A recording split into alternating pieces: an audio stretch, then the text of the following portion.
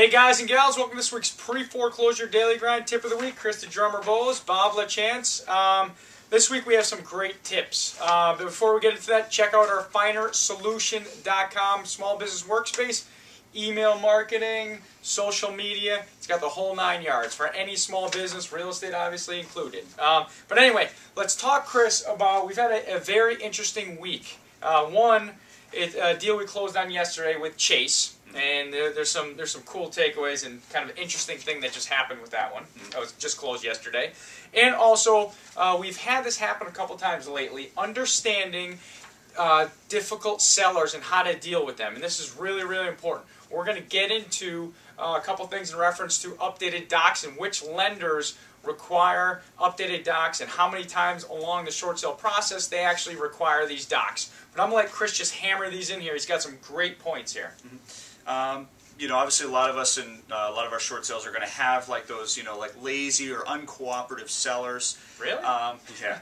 uh, what we obviously need to understand it's it's important to try to um, thoroughly understand where they're coming from. Um, and right off the bat, you know, a lot of these sellers are probably in a position where they've already been trying for several months to do either a loan mod or maybe a short sale, and because of either lack of, of knowledge of how to do it or, or resources, they probably failed, and they're probably blaming it on the lender. Yeah. You or know? expectations up front were, were you know up here where they shouldn't have been up here.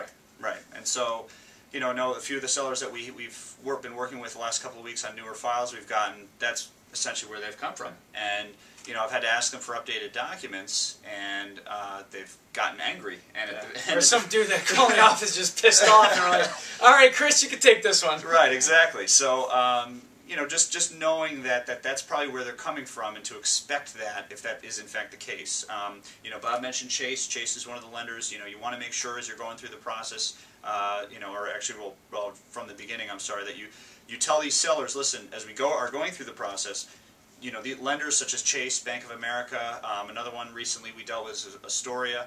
You know, they're going to ask for information from you, not only at the beginning, but throughout the process.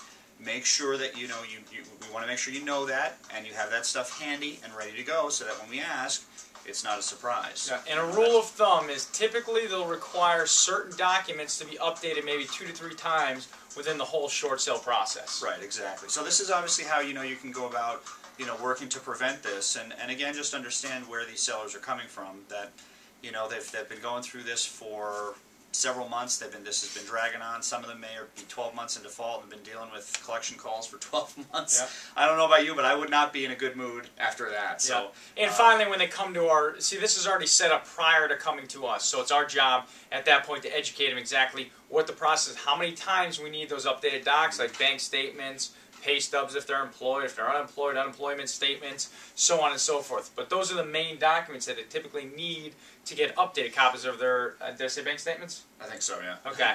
so those are the things that they need. Um, and, and, we want to have the sellers on board because, you know, obviously the sellers need to be around to sign off, you know, closing, sign the HUD, sign the approval letter, sign whatever else and uh, and provide those docs. And if they don't do that, then no matter how hard everyone else works, no matter how good of an offer we have, we don't get paid. Agents don't get paid. Title companies, attorneys, nobody gets paid. Right. Here, and the seller doesn't get helped out. Right. Um, all right, Chris, talk about Chase. The deal we closed yesterday. Well, this is an interesting one, and and I noticed, you know, it's so funny because you know we've done so many short sales, we've done hundreds over the last you know six seven years that uh, one item one bit of information that is always, always, always on every short sale approval letter is the wire or uh, overnight instructions. And you would think, you would think, of all bits of information... We got one right here with nothing. you would think that that would be the one thing that every lender would always, always want to have on there because, hey, we want to make sure you send our money to the right place. So we've been trying to get a hold of this negotiator, trying to get a hold of anybody within Chase right now, and we're still battling to get those overnight instructions. Yeah, which they're obviously backlogged. I mean, I, you know, I've been dealing with them